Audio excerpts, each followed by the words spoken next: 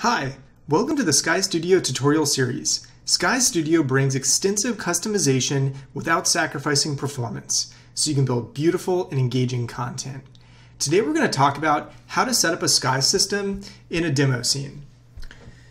Before we get started, let's make sure we're all looking at the same scene. Inside of Funly Sky Studio, you'll notice there's a folder called Tutorials, and then there's Basic Starter and a scene called Basic Starter.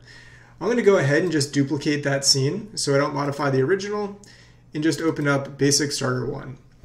So now that we're all looking at the same scene, let's go ahead and install a Sky system into the scene. Go to Window, Sky Studio, Set up Sky.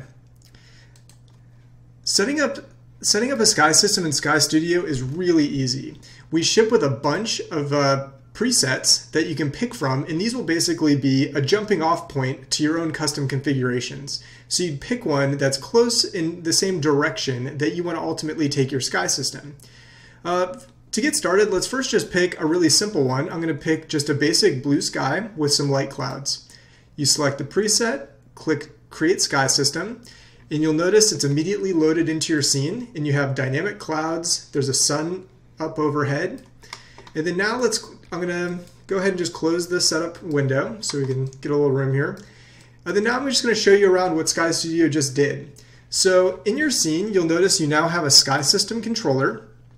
This is what manages the Sky System in your scene. It is the top level controller. If you want to do any script integrations with Sky Studio, you do that by registering them on the time of day controller. You can change the sky profile at runtime, and these are your different types of skies um, by just assigning into this property, the profile. And you can adjust the time of day um, right here. We'll show you that next in another scene I'm about to show you. To make any, any changes to the sky, that's all managed by what we call the sky profile. So I'm going to go ahead and double click the sky profile. You'll notice it's also just a file that's in your scene that we created for you called sky profile. And this is the main configuration point for all of Sky Studio. You'll notice that we have uh, some different sections here. And I'll quickly talk about them. We have the features section, and this is how you enable all of the various features in Sky Studio. When you enable one of these checkboxes, you'll notice you'll get a corresponding section underneath. So for example, we enabled the sun, so now we have a, a sun configuration area. Likewise, we've enabled the clouds, and we have a cloud configuration section. The sky section is always here because it hosts some common properties that, that are needed by Sky Studio just to even do the basic gradients and backgrounds. So you can go in here, you can immediately start doing things like adjusting, you know, the, the sky, the colors, things like that. Um, so I can do a darker scene here. We could go in here and we could quickly start adding in stars and things.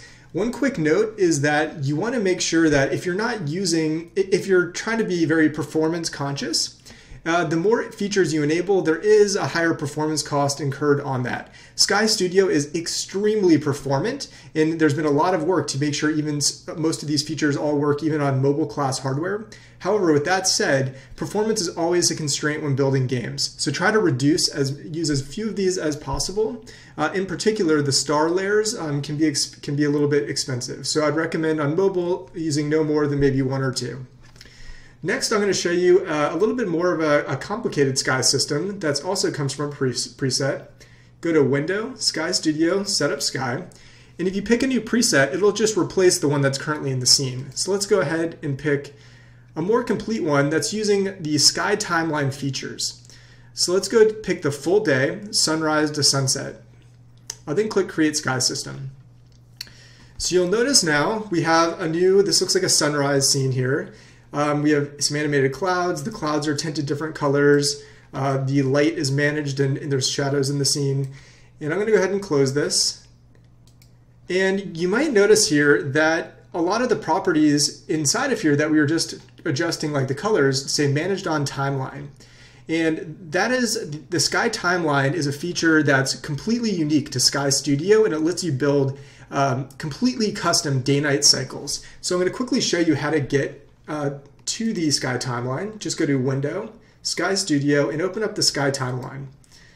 You'll notice you get, I have it docked here, but you'll get a, a window will pop up.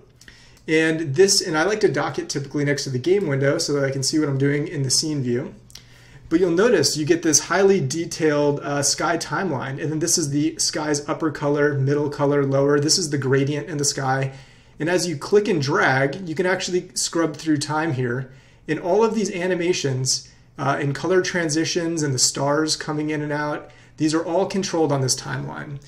Um, so I think, so that's it. I just wanted to give you guys enough information so you can understand where all the main windows are. Now you know about sky profiles, the main point of configuration, and you know that the sky timeline is a thing that exists. In future videos, we're going to go through every single one of these sections, the sun, the moon, clouds, fog, stars, rain, and lightning. And I'm going to teach you exactly how to use uh, you know, those features and how to configure it for your scene. Uh, and then at the end, we're going to talk about the sky timeline. I'm going to go ahead and build a, a complete animated sky. Um, and I look forward to teaching you guys more about Sky Studio. Thanks for trying it, and I'll see you in a future video.